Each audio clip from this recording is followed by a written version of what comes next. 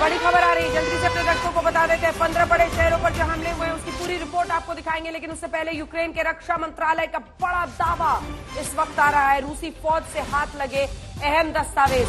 उनका ये कहना है कि जो रूस की स्ट्रैटेजी है वो उनके हाथ लग गई है।